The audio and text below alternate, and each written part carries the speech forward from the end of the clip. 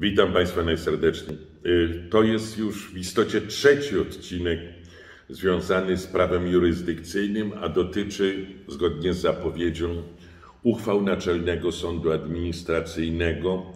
i, i zastosowania tychże uchwał do stanów, które były w okresie poprzedza, które były, miały miejsce w okresie poprzedzającym wydanie tej uchwały. Podatnicy mają pod tym względem wiele, wiele wątpliwości. Sąd kiedyś wydawał więcej uchwał, potem po okresie takich dość, mm, nazwijmy to, y, niezręczności, żeby użyć określ- słów najbardziej oględnych, ja, i, no, i no, wątpliwej trafności po, po wyrażanych tam poglądów. Sąd zresztą w niektórych przypadkach jeszcze uchwałą zmieniał uchwały, natomiast te, których nie zmienił, okazały się wyjątkowo szkodliwe dla, dla interesu publicznego, y, co oczywiście cieszyło tych, którzy dzięki temu mogli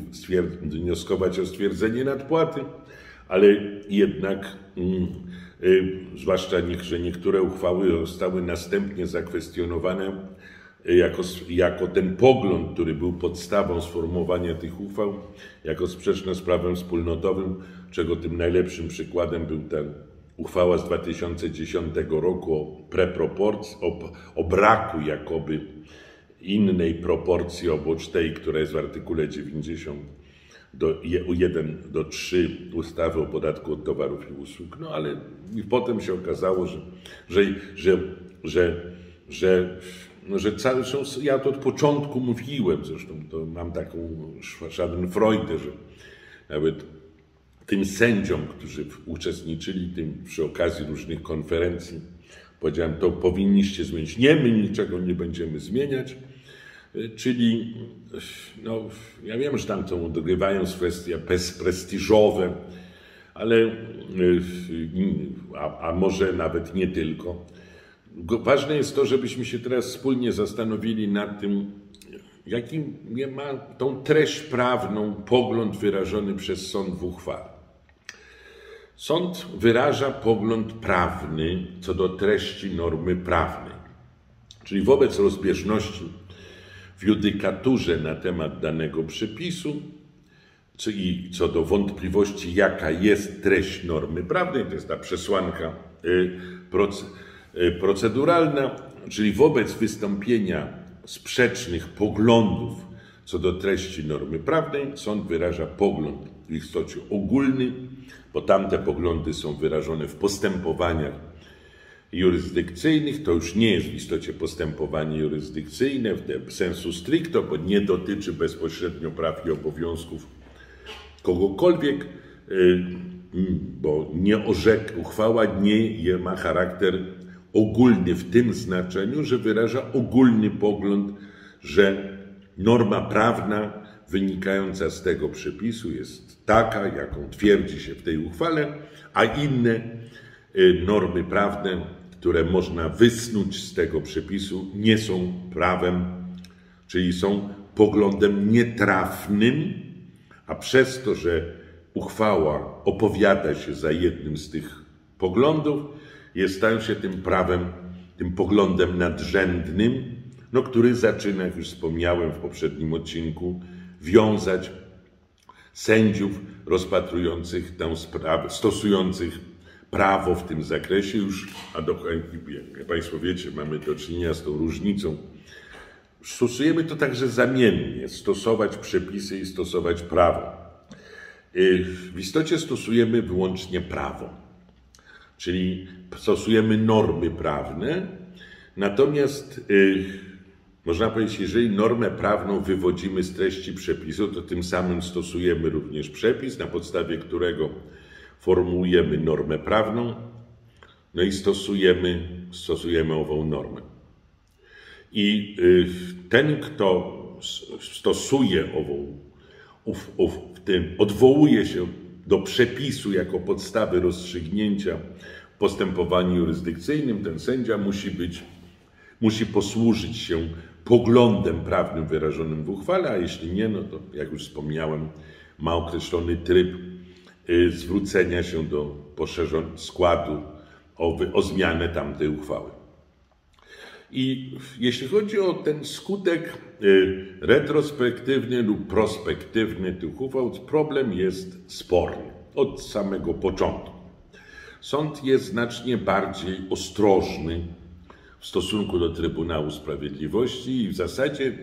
daje do zrozumienia niekiedy, że wszystko, co do tej pory nie y, zdarzyło się, czyli wszystkie poglądy prawne, które zostały sformułowane na temat treści normy prawnej zarówno w postępowaniach jurysdykcyjnych, jak i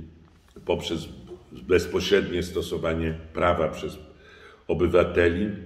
zachowują jakby swój walor prawny, natomiast od momentu, kiedy ta uchwała została podjęta i, i, i ogłoszono tą Ewangelię na ten temat, to od tego momentu stany przyszłe mogą, powinny być zdaniem sądu tak rozstrzygane. Pytanie przez kogo? No przez kogo, do kogo uchwała jest adresowana? Uchwała jest adresowana przede wszystkim do sądów. Problem polega na tym, czy na podstawie tej uchwały y, muszą zmienić swoją praktykę obywatele, czy ona wiąże, czy ten pogląd prawny wiąże podatników, którzy będą zgodnie z tym poglądem inaczej, inaczej deklarować lub nie deklarować, lub deklarować inne zobowiązanie podatkowe niż do tej pory deklarowali. I co do tego raczej nie ma wątpliwości, że mimo braku bezpośredniego związania poglądem prawnym wyrażonym przez w uchwale, y, y, związania obywatela to z reguły podatnicy traktują tego rodzaju uchwały bardzo poważnie. Od tego momentu zmieniamy praktykę. Jednym z takich instrumentów, które posługują się podatnicy, są instrukcje podatkowe i najczęściej jak została uchwała, to ta instrukcja ulega zmianie, ale, ale traktuje się to jako akt o skutkach pro futuro. Czyli od tego momentu zmieniamy praktykę i posługujemy się, stosuje, nakazujemy swoim pracownikom stosować normę prawną według treści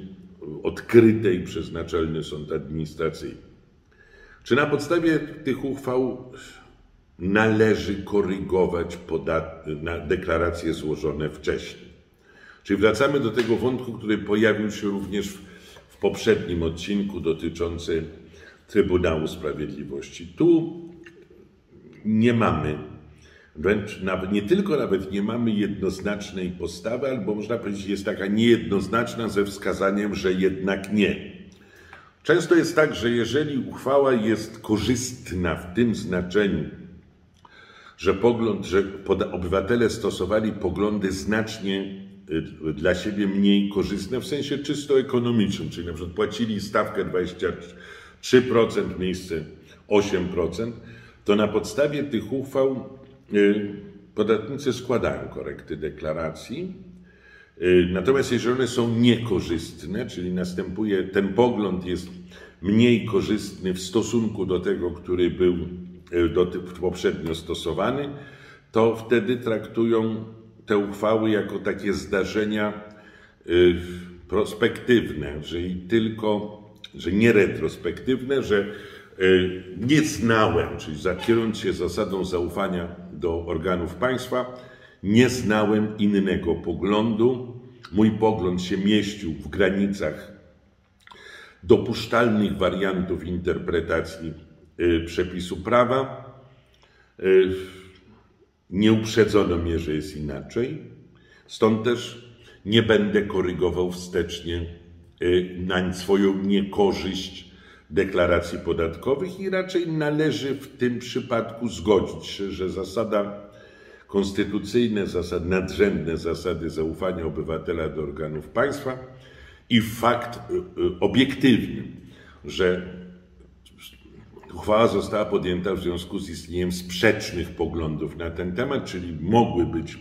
inne, różne warianty normy prawnej, uzasadnia że skutku retrospektywnego nakazu zmiany swojego postępowania w świetle tej normy, czyli poprzez korekty deklaracji wykazujące zaległości podatkowe, nie ma. Natomiast jeżeli jest odwrotnie, to część obywateli y, postępuje w ten sposób, że na podstawie tej uchwały składa wnioski o stwierdzenie nadpłaty, y, dołączając do tego korekty deklaracji, twierdząc, że, że ten pogląd wyrażony przez sąd ma i był poglądem niejako, był prawem, był prawem również wcześniej, a moja wersja prawa była błędna i dla mnie niekorzystna. No i pytanie jest, czy, czy, czy to jest pogląd dostatecznie uzasadniony. Powiem, że to, znaczy nie chcę, tu nie można nic przesądzić, bo każdy z nas ma własną, własną suwerenność w, te, w kształtowaniu tego rodzaju jakby poglądów co do, co do poglądów, ale, ale powiedziałbym tak, że jeżeli uchwała może, tak jak w przypadku wyroków Trybunału Sprawiedliwości, ograniczyć swój skutek do zdarzeń przyszłych. Czy to się mieści w tym, co się nazywa y, jurysdykcyjnej roli, tej kognicji, w tym przypadku sądu? No, mój Boże, chyba tak, ponieważ sąd może powiedzieć, dobrze, wobec takiej rozbieżności poglądów twierdzę, że ja wybieram jeden z poglądów, a te wszystkie, które były do tej pory formułowane, y, mają swoje prawo obywatel, prawa obywatelskie. Natomiast jeżeli obywatel sądzi, że y, uchwała ta jest takim aktem y, retrospektywnym, czyli ten pogląd powinien od samego początku być poglądem y, definiującym to, co jest prawem, no to należałoby na tej podstawie korygować deklaracje, składać wnioski o stwierdzenie nadpłaty, a i tak ostatecznie zdecyduje władza wykonawcza, czy y, zwróci nam tą nadpłatę, czy też odmówi od stwierdzenia nadpłaty, a potem sprawa trafi do sądu i wtedy sąd ukształtuje swój pogląd właśnie, czy ówczesna Twoja wizja prawa sprzeczna z wizją, którą zasformułowano w tejże uchwale, y, podlega, jest w tym sensie podlega y, degradacji, bo przecież nie unieważnieniu, a może nawet w jakimś sensie unieważnieniu, staje się nie, nie, nieistotna, że wstecznie masz prawo korzystać z dalej idącego poglądu dla ciebie korzystnego, sformułowanego w uchwale. I w zasadzie chyba na tym to tak sprawa się zamknie, czyli tego sporu nikt, nikt nie rozstrzygnie do końca, chyba że sama, sam ustawodawca powie, że uchwały te, y, że, że nie o nieskuteczności albo, albo z samej uchwały wynika, że, bo może wynikać, że y, ten pogląd, że te sprzeczne poglądy co do treści normy prawnej stają się w istocie rzecz biorąc, muszą być usunięte z obrotu prawnego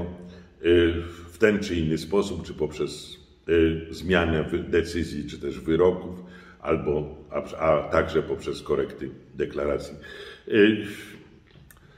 Bardzo dziękuję Państwu za uwagę. Został nam jeszcze wątek związany z interpretacjami ogólnymi, z objaśnieniami, gdzie jest sprawa trochę prostsza, ale też ważna, ale już o nim powiem w następnym naszym odcinku. Dziękując Państwu wszystkim za uwagę, za, za zainteresowanie niniejszą serią. Mimo okresu wakacyjnego za, dziękuję za to, za wszystkie sugestie i uwagi oraz wypowiedzi na ten temat. Pozdrawiam Państwa najserdeczniej. Do widzenia.